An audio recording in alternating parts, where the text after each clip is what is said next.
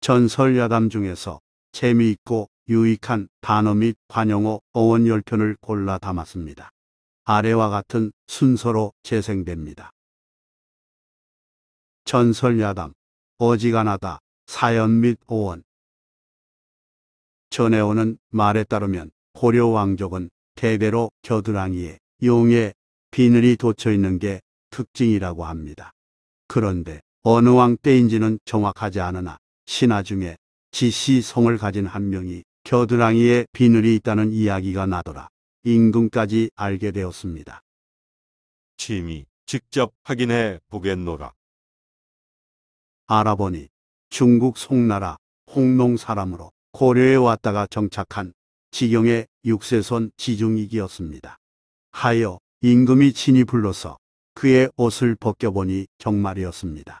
당황한 임금은 차마 고려 왕족의 성시인 왕씨를 줄 수 없어 이렇게 말했습니다. 이제부터 너는 허가로 행세하라. 이때부터 지중익의 성은 어중익으로 바뀌었고 겨드랑이에 있던 세 개의 비늘 때문에 본의 아니게 새로운 성씨 충주호 씨의 시조가 되었습니다. 충주지 씨와 충주호 씨는 한 집안임에도 부모 형제 간의 성씨가 엇갈리게 됐지만 같은 핏줄이므로 어 씨와 지 씨는 사실상 차이가 없었습니다. 하여 세간에서는 엇비슷한 것을 일러 어 씨와 지씨 사이 같다라는 의미로 어지간하다라고 말하게 됐다고 합니다. 충주 지 씨와 어 씨는 지금도 서로 혼인하지 않는다고 합니다. 한편 현대 국어 사전에서는 어지간하다에 대해 한자 없이 수준이나 형편이 기준에서 크게 벗어나지 않은 정도이다. 라고 설명하고 있습니다. 전설야담, 호박씨 까다 사연 및 오원. 겉으로는 어리석은 체하면서도 남몰래 엉큼한 짓을 한 경우를 가리켜 호박씨 까다라거나 귓구멍으로 호박씨 까다라고 표현합니다. 여기에는 다음과 같은 유래가 전합니다. 옛날에 매우 가난한 선비 부부가 있었습니다. 선비는 글공부에만 매달리고 살림은 오로지 아내가 맡아서 꾸려나갔습니다. 군기를 밥 먹듯 하면서도 이들 부부는 훗날을 바라보며 어려움을 견뎠습니다. 그런데 어느 날 선비가 밖에 나갔다가 돌아와서 방문을 열자 아내가 무언가를 입에 넣으려다가 황급히 엉덩이 뒤쪽으로 감추는 것이 보였습니다. 당신 뭐를 급히 감추는 것이오? 그러자 당황한 아내는 울상이 되어 아무 말도 못하고 고개를 푹 숙였습니다. 무척 배고팠던 선비는 아내가 자기도 모르게 음식을 감춰두고 혼자 먹고 있었다고 생각했습니다. 하여 서운함을 느낀 선비는 무엇이냐고 재차 추궁했습니다. 아내는 망설이다가 할 수 없다는 듯 이렇게 말했습니다. 방바닥에 호박씨가 하나 떨어져 있기에 그것이라도 까먹으려고 집어서 입에 넣었습니다. 그런데 빈 쭉정이기에 도로 꺼내는 순간 당신께서 들어오신 것입니다. 그러면서 아내는 눈물과 함께 용서를 구했습니다. 선비는 그런 아내의 말에 너무나 가슴이 아파 함께 껴안고 눈물을 흘렸다고 합니다. 이런 이야기로부터 남몰래 엉큼한 짓을 하는 것을 일러 호박씨 까다라고 말하게 되었는데 세월이 흘러 나쁜 의미만 남게 되었습니다. 오늘날 호박씨 까다라는 말은 안 그런 척 내숭을 떨면서 몰래 나쁜 짓을 하다라는 뜻으로 사용되고 있습니다. 전설야담, 명태유래, 부고 황태, 노가리 까다 오원. 아주 먼 옛날 환경북도 명천에 태서방이라는 어부가 살았습니다. 태서방은 그날그날 고기를 잡아 팔아서 기니를 이어가는 가난한 처지였지만 부지런함으로 이겨나갔습니다. 어느 날 태서방은 여느 때와 마찬가지로 명천 앞바다로 고기잡이 나갔다가 처음 보는 물고기를 잡았습니다. 아니, 이게 무슨 고기지? 태서방의 그물에 걸린 물고기들은 그때까지 한 번도 못 본 물고기였습니다. 독이 들어있을지도 모르지만 생김새로 봐서는 먹을 수 있는 물고기로 보였기에 일단 배에 실어 항구로 돌아온 다음 태서방은 만나는 사람마다 붙잡고 그 정체가 무엇인지 물었습니다. 여보게, 이 물고기가 무슨 고기인지 아는가? 이런 고기는 처음 보는군. 어허, 어부 인생 50년이지만 처음 보는 고기네 그려. 자신들도 답답한지 누군가 태서방에게 고을 사또를 찾아가서 여쭤보라고 말했습니다. 태서방은 그 물고기를 가지고 관청으로 찾아갔습니다. 사또, 소인이 잡은 물고기인데 이름을 알 수 없기에 여쭈어 보고자 왔나이다. 사또는 물고기를 보더니 갸우뚱하며 알 수 없는 고기로구나 하는 표정을 지었습니다. 잠시 생각에 잠긴 사또는 이내 이렇게 말했습니다. 내가 그 고기의 이름을 지어 주겠노라. 명천 바다에서 잡았으니 명자를 따고 어부의 성이 태시이니 태자를 따서 명태어라고 부르도록 해라. 감사하옵니다. 사또, 태서방은 마을로 돌아와서 사람들에게 물고기 이름이 명태어라고 자랑삼아 떠들고 돌아다녔습니다. 그리고 집에 돌아와서 여러 가지 방법으로 요리를 했습니다. 국을 끓이고 양념 조림도 하고 불에도 구운 후 전부 조심스레 먹어봤습니다. 그랬더니 모두 맛있었습니다. 태서방은 사또가 지어준 이름 명태호를 적극적으로 알리면서 날마다 명태가 많이 잡힌 곳으로 가서 열심히 그물을 던졌습니다. 명태어는 줄여서 명태로 금방 사람들 입에 오르내렸고 담백한 맛에 힘입어 매우 잘 팔렸습니다. 덕분에 태서방은 가난한 살림에서 벗어나 부자가 됐습니다. 그 뒤 명태는 건조 상태에 따라 다른 명칭이 생겼습니다. 명태는 말린 상태로 함경도 남쪽 강원도에도 전해지면서 건명태는 북쪽에서 잡아 온 고기라는 뜻의 북어라고 불렸습니다. 강원도 어부들도 명태를 잡았으며 겨울철 찬바람과 햇볕에 말린 명태는 빛깔이 누렇기에 황태라고 불렀습니다. 그런가 하면 황태를 만드는 과정에서 날씨 변덕으로 인해 거무스레하게 된 것은 목태, 절반쯤 말린 것은 코다리라고 합니다. 코다리는 강원도 동해안에서 명태의 코를 줄로 깨어 몇 마리씩 팔기 좋게 묶었다 해서 생긴 이름입니다. 새끼 명태는 노가리라고 불렸으며 노가리 까다라는 속어도 생겼습니다. 명태가 한꺼번에 매우 많은 쇠의 알을 까는데 빗대어 사람이 말을 많이 할 때 노가리 까다라고 표현하게 됐습니다. 일반적으로 말이 많으면 사실보다 부풀려지기 마련이므로 거짓말이라는 의미까지 지니게 된 것입니다. 요컨대 노가리 까다라는 속어는 이런저런 말들을 쏟아내는 아무 말 잔치인 셈입니다. 전설야담 고술의 그 애달픈 사연 고술에는 들이나 산에서 음식 먹을 일이 있을 때 한 숟가락을 떠서 땅의 신에게 먼저 바치는 행위 혹은 그때 외치는 구호를 이르는 말입니다. 일반적으로 먹기 전에 음식을 조금 떼어 던지며 고수레라고 외칩니다. 지역에 따라 고시레라고도 말하며 귀신을 부르는 말입니다. 이런 관습은 언제부터 왜 행했을까요? 그 유래에 대해서는 여러 설이 있지만 가장 보편적인 설은 고시부인과 관련된 이야기입니다. 옛날 어느 마을에 고만석이란 부자가 있었는데 경제적으로 여유롭게 지냈으나 자손을 두지 못한 채 일찍 죽었습니다. 졸지에 과부가 된 고씨의 부인은 우울하게 지냈습니다. 남편이 넉넉한 재산을 남겨줬기에 고씨 부인은 종들을 부리며 편히 생활했지만 자식이 없어 사는 재미를 못 느꼈던 것입니다. 고씨 부인은 늘어나는 재산에 때로는 오히려 슬픔을 느끼기도 했습니다. 그러던 어느 날 이런 소문을 듣고 한 지관이 찾아와 다음과 같이 말했습니다. 부인께서는 많은 재산을 가지고도 어찌 장래를 생각하지 않으십니까? 장례란요? 무엇을 말씀하시는지요? 명당을 잡아서 돌아가신 뒤에 쓰시면 부부가 만대 영화를 누리실 겁니다. 자식도 없는 년이 명당을 쓰면 무엇하겠소? 자손이 없는데 어찌 만대의 영화를 누린답니까? 지관의 말을 황당하게 생각한 고시 부인이 이렇게 반박하자 지관이 다시 말했습니다. 그건 부인께서 모르고 하시는 말씀입니다. 명당 중에는 자손이 없더라도 만대까지 제사 지내주는 사람이 스스로 생기는 곳도 있습니다. 무자손 만대 봉사지지라는 곳이죠. 그 말에 귀가 솔깃해진 고시 부인은 이것저것 물어보며 궁금증을 푼 후 지관에게 쌀 백섬을 주고 그런 명당을 구해달라고 부탁했습니다.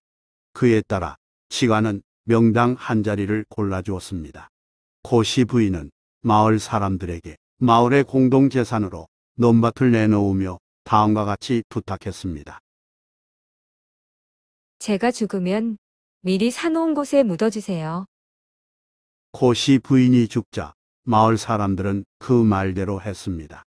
그런데 이상하게도 이후 무덤 앞뒤로 펼쳐진 넓은 들판에서 곡식이 자라지 않았습니다. 이전에 없었던 해괴한 일인지라 마을 사람들은 모여서 그 원인에 대해 논의했고 고시 부인 무덤이 문제라는 결론을 내렸습니다.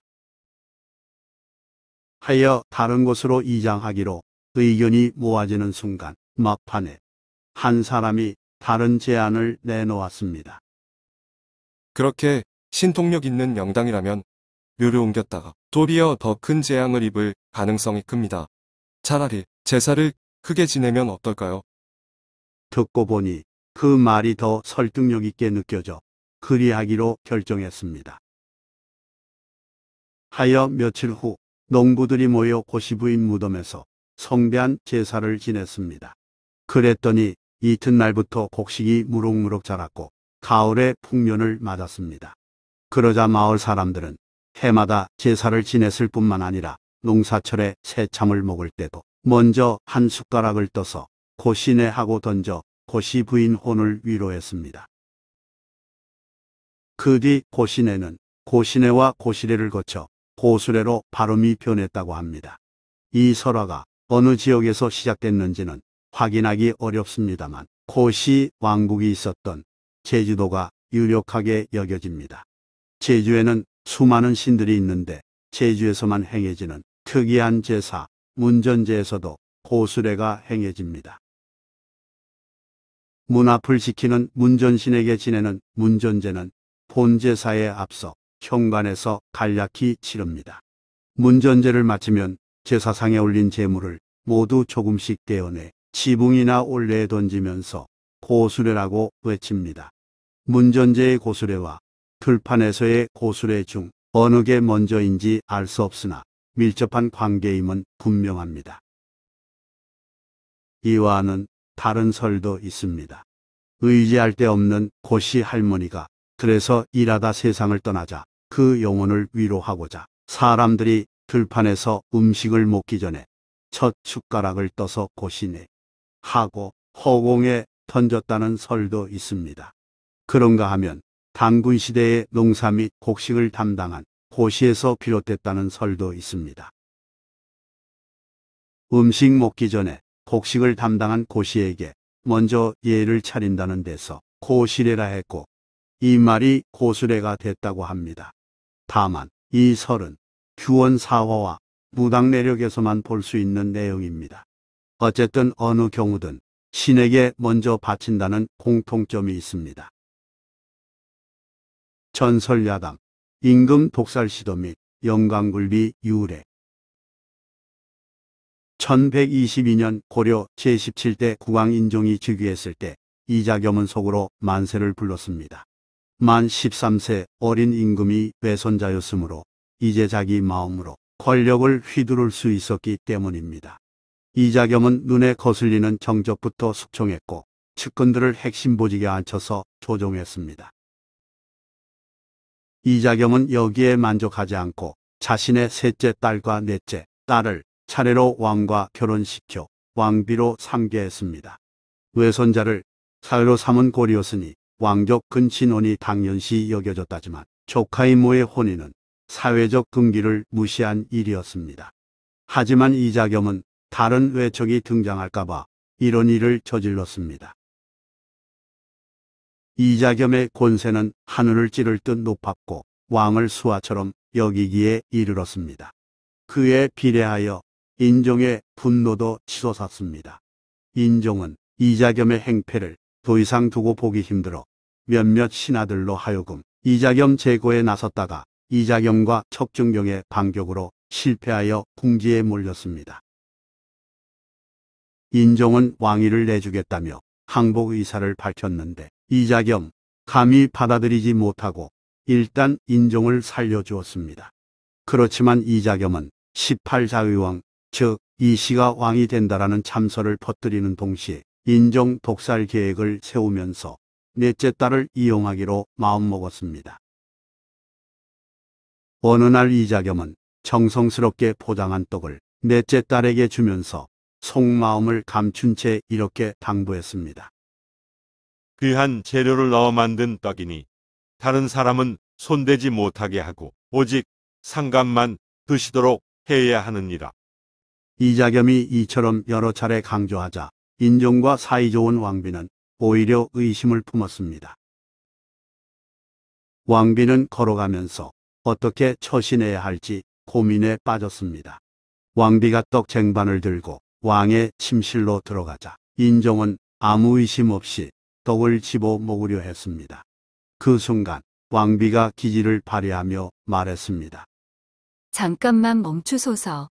떡에서 냄새가 나는 드시푼이 상했는지 한번 확인해 봐야겠사옵니다. 왕비는 마침 뜰 아래 모여있는 새들에게 떡 한 개를 던졌습니다.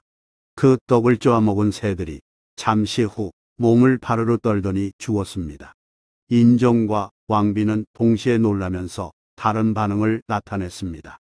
인종은 가슴을 쓸어내리며 안도의 한숨을 쉬었고 왕비는 너무 기막힌 일에 눈물을 쏟아내며 흐느껴 울었습니다.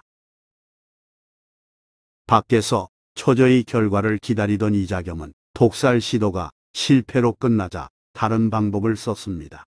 며칠 후 이자겸은 독이 든 한약을 보약이라고 속이며 왕비에게 건네주었습니다. 쉽게 구할 수 없는 귀한 약재로 다렸으니 반드시 드려야 하느니라. 왕비가 한약을 들고 걸어가면서 흘끔 뒤돌아보자 이자겸이 지켜보고 있었습니다. 왕비는 왕이 있는 방문 앞에 이르렀을 때 문득 뭔가를 떠올리며 즉각 실행에 옮겼습니다. 왕비는 방문 문지방에 걸린 것처럼 넘어지면서 약사발을 엎어버렸습니다. 왕은 왕비가 다치지 않았는지 걱정했지만 왕비는 왕이 독살 위험으로부터 벗어났다는 안도감에 마음을 놓았습니다. 이자겸은 딸의 방해에 탄식하며 돌아섰습니다. 그로부터 얼마 후 노비들의 말다툼이 계기가 되어 동지 관계였던 이자겸과 척준경 사이가 틀어졌습니다. 호시탐탐 반격 기회를 노리던 인종은 때를 놓치지 않았습니다. 인종은 척준경에게 좋은 말과 안장을 하사하면서 충성심을 유도했고 척준경은 적의 적은 동지라는 심정으로 인종에게 충성을 다짐했습니다. 나라를 위해 그대의 힘을 써주시오. 인종은 척준경에게 밀지를 보냈고 척준경은 즉시 친히 쿠데타를 일으켜 이자겸을 가두고 그의 부하들을 처형했습니다. 척준경은 자신이 이자겸의 자리를 차지할 수 있으리라는 생각에 그리했습니다. 인종은 외할아버지 겸 장인인 이자겸을 전라도 영광 법성포로 귀양 보냈습니다. 오호, 이 무슨 맛이고. 졸지의 죄인이 되어 외진 곳에 유배된 이자겸은 어느 날 말린 조기를 맛보고 감탄했습니다. 그 지역 사람들은 소금에 절여 바닷바람에 말린 조기를 즐겨 먹었는데 처음 먹어본 이자겸이 그에 반한 것입니다. 이자겸은 말린 조기를 정성껏 포장한 후 정주 굴비라고 써서 임금에게 보냈습니다. 정주는 당시 그곳 지명인 바 그 의미는 정주에서도 굽히지 않음이었습니다.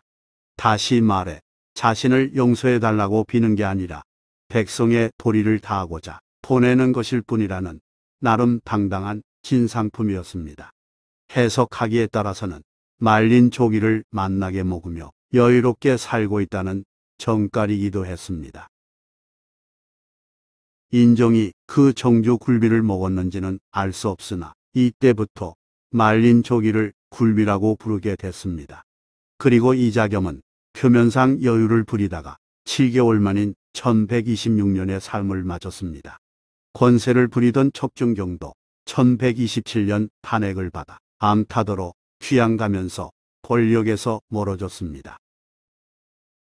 한편 신하들은 이자겸의 넷째 딸인 왕비 이씨를 역적의 딸이라 하여 궁궐에서 내쫓아야 한다고 진언했습니다. 이에 인종은 마지못해 패배에는 동의했으나 보관지공, 즉 독약 사발을 엎지른 공로를 생각해 직과 박과 노비를 하사하는 등 뒤를 매우 따뜻하게 돌봐주었다고 합니다. 전설야담, 용꿈을 위한 지성, 용수철 오원 꿈의 용을 보면 과거에 급제한다더군. 1753년의 어느 날 친구로부터 용꿈 얘기를 들은 이진왕은 즉시 좁은 방을 수리했습니다. 이진왕은 깨끗이 청소한 방 안에 책을 잔뜩 쌓아 놓고는 방문 밖으로 나가지 않고 공부에 몰두했습니다. 집안일도 외면했고 친구가 찾아와도 들어오지 못하게 했습니다. 아침, 저녁 밥상도 조그만 창문을 통해 받았고 뒷간에 가는 일 외에는 외출하지 않았습니다. 공부를 집중해서 하더라도 얼굴은 왜 보여주지 않는가? 누가 얼굴을 보면 다른가? 가족이나 친구들이 이처럼 비웃기도 했지만 이진왕은 일절 신경 쓰지 않고 출입을 삼갔습니다. 이진왕은 그 대신에 온통 용만 생각했습니다. 공부하지 않을 때는 밤낮으로 용에 관한 모든 것을 떠올렸습니다. 용의 머리에 난 뿔두가, 용의 몸을 보호하는 인가, 용의 콧수염을 가리키는 영수철, 모든 것을 물리친다는 용의 발톱에 이르기까지 철두철미 용만 생각했습니다. 이 중에서 용의 수염은 탄력이 무척 좋아 길게 뻗쳤다가 이내 수축되어 돌돌 말리는 특성이 있기에 용수철은 훗날 늘어나거나 줄어드는 탄력이 있는 나선형 쇠주를 이르는 말로 쓰이게 됐습니다. 이진영은 용의 이러저러한 외모뿐만 아니라 용의 변화도 마음으로 상상하곤 했습니다. 사흘째 되는 날, 이진영은 그토록 바라던 꿈을 꾸었습니다. 큰 황룡이 한 마리 나타나더니 웅장한 자태를 뽐낸 것입니다. 이진영은 반가운 마음에 두 손으로 황룡을 움켜쥐고 자신의 다리에 감으려 했습니다. 용의 몸이 워낙 크고 힘이 강대한지라 이진왕은 땀을 뻘뻘 흘리며 간신히 동요맬 수 있었습니다. 그 직후 잠에서 깨어나니 꿈이었습니다. 온몸은 마치 실전을 치른 듯 땀에 흠뻑 젖어 있었습니다. 이진왕은 희망한 용꿈을 꾸었기에 크게 기뻐했고 그날부터 용이 들어있는 글을 찾아서 읽었습니다. 경서와 사기를 비롯해 잡서류에 이르기까지 모조리 들추어 읽었습니다. 이걸 소재로 글을 지어보자. 이진왕은 용이 들어간 문자 중에서 과제에 적합해 보이면 문장을 무수하게 지원했습니다. 그러던 차 조정에서 정시의 명이 나왔습니다. 이진왕은 과거 보기 수일 전 과거 볼 종이를 사고자 지전으로 가서 가장 좋은 품질의 종이를 보여달라고 했습니다. 나 오른쪽 다리에 용을 감았으니 오른손은 쓰지 말아야지. 종이 더미 앞에서 이진왕은 오른손을 소매 사이에 놓고 왼손만 꺼내어 일일이 뒤져서 가장 좋은 종이를 택한 후 그걸 오른손으로 뽑아냈습니다. 마치 합격자를 발탁하는 것처럼 말입니다. 가만, 동생도 과거를 본다 하니 한 장 더 사자. 형제는 한 몸이므로 이진왕은 설령 자신이 과거에 떨어져도 동생이 급제한다면 그 또한 경사라고 생각했습니다. 하여 앞서 했던 방식을 반복해서 왼손으로 종이를 뒤진 후 오른손으로 뽑았습니다. 이진왕은 이렇게 시지두 장을 사서 집으로 돌아갔습니다. 드디어 형제는 과거장에 함께 들어가서 긴장된 마음으로 시제를 기다렸습니다. 성균과 논이 과제가 적힌 두루마리를 펴서 펼치자 과거 응시자들은 그 의미를 몰라서 웅성거렸습니다. 초령주장, 불을초, 용용, 고루 미칠주, 담장. 징역하면 용을 불러 담장에 고루 미치다. 시험장을 가득 채운 과거 응시자들은 도무지 과제를 해석해내지 못하고 끙끙거렸습니다. 하지만 이진왕은 용자가 들어간 문장을 수없이 연습했기에 여유롭게 일필이지하여 답안을 제출했습니다. 동생도 이어 답안을 바쳤습니다. 얼마를 기다리니 합격자 명단을 적은 방이 나왔습니다. 그런데 앞사람 셋 중에 자신의 이름이 없었습니다. 이진왕은 당황했으나 네 번째로 동생이 호명되자 그나마 다행이라며 자신을 위로했습니다. 비록 나는 떨어졌어도 동생이 급제했으니 한탄할 것이 무엇이다. 그렇게 중얼거리는 순간 이진왕도 호명됐습니다. 합격자 6명 중에 형제가 나란히 뽑힌 것입니다. 잠깐 낙심했던 이진왕은 자기 이름을 거듭 확인한 후 뛸듯이 기뻐했습니다. 이진왕은 용꿈 덕분에 급제했다고 굳게 믿었으며 이후 후배들에게 이렇게 말했습니다. 지성이면 용도 볼 수 있도다. 공부에 있어서는 정성을 다하면 뜻을 이루리라. 이진왕은 한성부 우윤에 이르렀고 동생 이진영은 경기도 관찰사와 대사원을 역임했습니다. 전설 야담, 교활과 낭패 중국 고대의 기이한 이야기를 다룬 산해경에 따르면 옥산에 교라는 동물이 살았습니다. 몸의 형태는 개와 비슷하고 울음소리 역시 개와 흡사하지만 머리에 쇠뿔이 달려있고 몸에 표범처럼 반점이 있다는 점이 달랐습니다. 이 교가 사람들 눈에 띄게 나타나면 그애에는 여지없이 풍년이 들었습니다. 하지만 교는 세상에 나올 듯 말 듯하다 나오지 않고 약만 올리는 경우가 많았습니다. 사람들 입장에서는 애타는 일이었지만 교는 그걸 즐기는지 좀처럼 모습을 보여주지 않았습니다. 자네, 교를 받는가? 산에서 교처럼 보이는 동물이 있기에 자세히 봤더니 아니더군. 한편 요광산에는 활이라는 동물이 살았는데 그 성질이 간악했습니다. 활의 몸에는 돼지털처럼 뻣뻣한 털이 많았고 동굴에서 겨울잠을 자곤 했습니다. 잠에서 깬 활이 크게 울어대면 온 천하가 큰 혼란에 빠지므로 사람들은 활의 울음소리를 흉조로 여기며 두려워했습니다. 활은 산에서 호랑이 같은 맹수를 만나면 특이한 행동을 했습니다. 자기 몸을 구부려 공처럼 만들어 맹수가 잡아먹기 좋도록 해주는 것입니다. 호랑이가 입을 벌리고 삼키면 뱃속으로 들어가서 내장을 마구 파먹으며 호랑이가 날뛰다가 죽기를 기다렸습니다. 그러면 구멍을 파고 유유히 빠져나왔습니다. 이처럼 교나활이 속임수를 많이 썼기에 사람들은 간사하고 깨가 많음을 가리켜 교활이라고 말하게 됐습니다. 주로 자기 이익을 취하고자 남의 약점을 노려 함정을 파거나 상대를 속여가며 이용할 때 교활하다라고 흔히들 말하는 이유가 여기에 있습니다.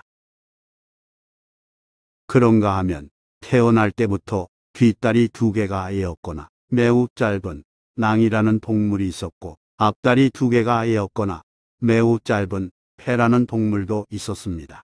낭과 패는 혼자서 다닐 수 없었으므로 항상 낭이 패를 등에 태워서 한 몸처럼 돌아다니며 모기를 구했습니다. 낭과 패의 외모는 개처럼 생겼지만 기질과 능력은 달랐습니다.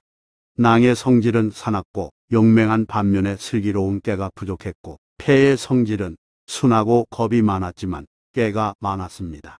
하여 패가 작전을 짜고 낭이 공격해서 모기를 잡곤 했습니다.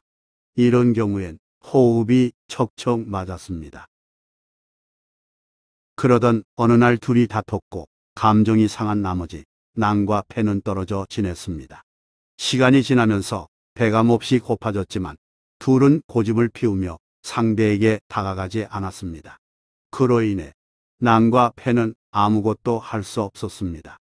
이에 연유하여 바라던 일이 실패로 돌아가 매우 딱하게 됨을 낭패라고 말하게 됐습니다. 전설 야담, 임금, 왕 호칭 단호 오원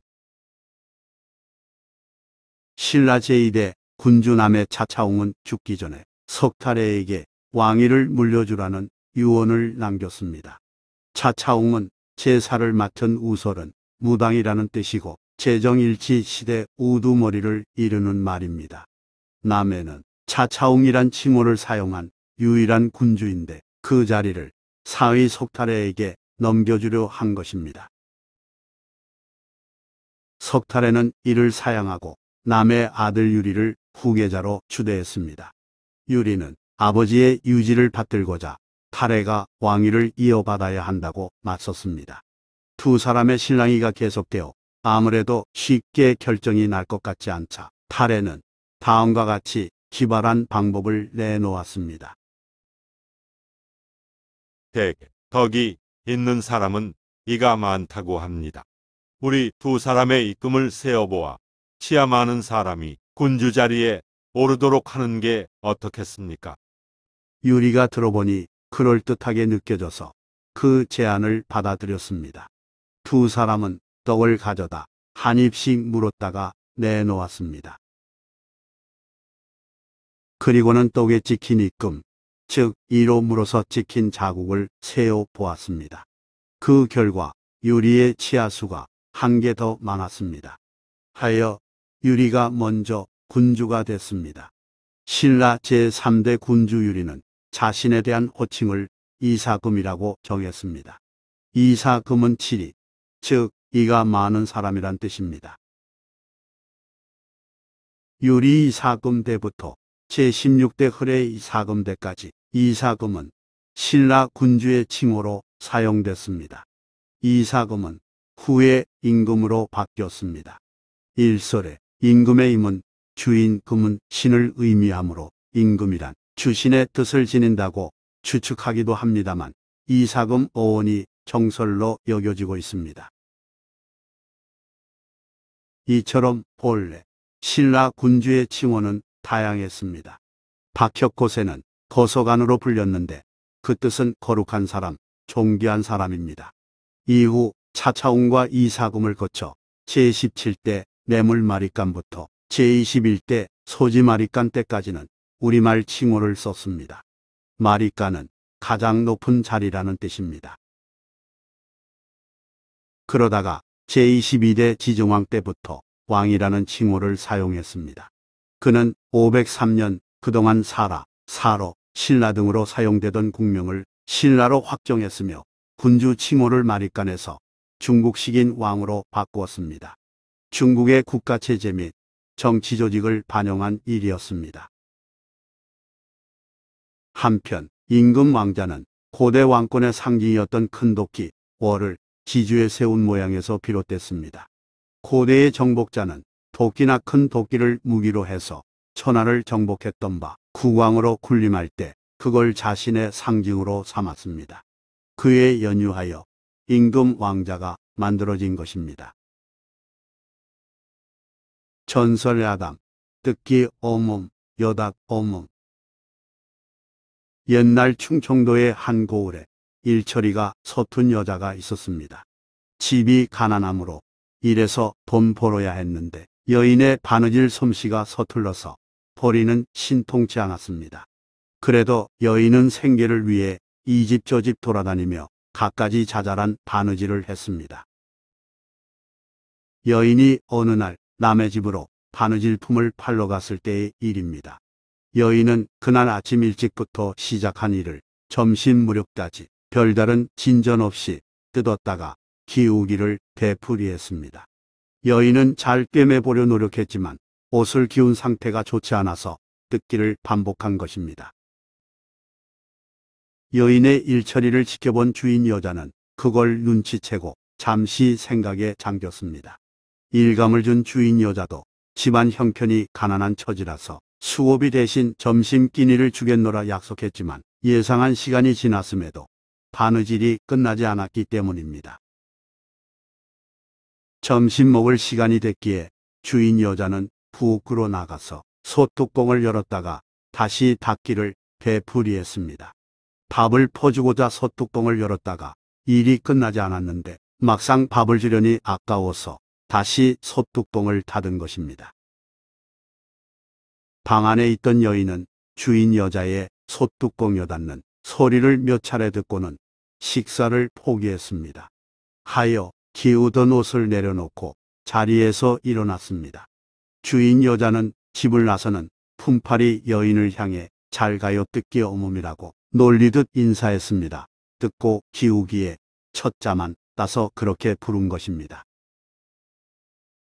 그러자 졸지에 뜯기 어멈이 된 품팔이 여자는 화가 났기에 주인 여자에게 그럼 잘 있어요. 여닫 어멈이라고 담내 인사했습니다. 주인 여자 역시 밥은 안 주고 소뚜껑만 열고 닫기를 반복했기에 열다섯 몸에서 첫 글자의 리을 빼고 여다섯 몸이라 부른 것입니다. 뜯기 어멈과 여다섯 몸이란 말은 금방 동네에 퍼졌고 새로운 유행어가 되었습니다. 이후 일이 서툰 여자를 가리켜 뜯기 어멈 같다. 속이 들여다보이게 인심이 야박한 여자를 가리켜 여단 어멈 같다라고 말하게 됐다고 합니다. 전설야당 차마 눈 뜨고 볼 수 없는 곳 조선시대에 타살 가능성이 있는 변사체가 발견되면 신주무원록의 지침에 따라 검시를 진행했습니다. 신주무원록은 원나라의 무원록을 참작하여 주해를 더해 세종 때 간행한 법의학 지침서입니다. 신주무원록은 원통함이 없는 기록을 새롭게 풀이함이란 뜻입니다. 억울하게 죽은 자가 없게끔 사유를 명백히 밝히도록 하라. 세종은 1438년 신주무원록을 각도에 반포했고 1442년에는 모든 검시를 이 규정에 따르도록 했으며 반드시 사체가 있는 곳에서 검험하여 사체 검안서를 만들고 재판을 하도록 했습니다. 살인 사건이 발생하면 고을 수령과 증인에 입회하여 현장에서 초검을 했고 인근 지방관이 2차 복검을 했으며 서로 의견이 일치하지 않으면 형조에서 난관을 보내 다시 검시해 최종적으로 판결을 내렸습니다. 이에 따라 누가 언제 어떻게 죽었는지 상세히 기록되었습니다. 칼에 가슴을 찔려 죽었는지, 목졸림을 당했는지, 독국물에 의해 거품을 물고 사망했는지, 몽둥이로 맞았는지, 보자기에 씌워져 질식을 당했는지 등등 그 방법은 물론 어디를 어떻게 다쳤는지도 꼼꼼하게 기록됐습니다. 그런데 이런 사체검안서 작성에 난감한 일이 생겼으니 조선 중엽 선조 때의 일입니다. 여인이 참혹하게 죽었사옵니다. 한양 운종가에서 아내의 간통을 적발한 남편이 그 아내를 죽인 사건이 일어났습니다. 운종가는 많은 사람이 구름같이 모였다 흩어지는 거리 가는 뜻에서 유래된 명칭이며 지금의 종로 일대를 가리키는 말입니다. 한양 한복판에서 일어난 사건이므로 신속히 부검을 실시했습니다. 피해자의 남편은 분노를 참을 수 없어 살인했다면서 순순히 자백했습니다. 기록과는 그 상황에 대해 범인이 아내의 어디를 어떻게 해서 죽였는지 적기만 하면 됐습니다. 하지만 문서, 기록을 담당한 서리는 기록을 거부했습니다. 남편이 돌로 내리친 곳이 여인의 은밀한 부위였기 때문입니다. 여인의 그곳을 입에 올리는 일도 금기인데 하물며 글로 쓸 수는 없사옵니다. 남녀의 생식기가 있는 곳을 가리키는 국부가 문제였습니다. 그의 상관도 같은 생각이었기에 형조에서는 조서를 꾸미지 못하고 전전긍긍했습니다. 누구도 나서려 하지 않은 채 시간만 흐르자 전국적으로 소문이 퍼졌습니다. 대부분의 선비들은 공감하며 혀를 끌끌 찼을 뿐인데 한 사람이 묘안을 냈습니다. 경상도 함양에 사는 오일섭이란 선비는 상소를 올려 다음과 같은 의견을 내놓았습니다. 모가 나지 않은 돌로 차마 눈 뜨고 볼 수 없는 곳을 쳐 죽였다. 형조에서는 이 의견을 받아들여 그렇게 적었습니다.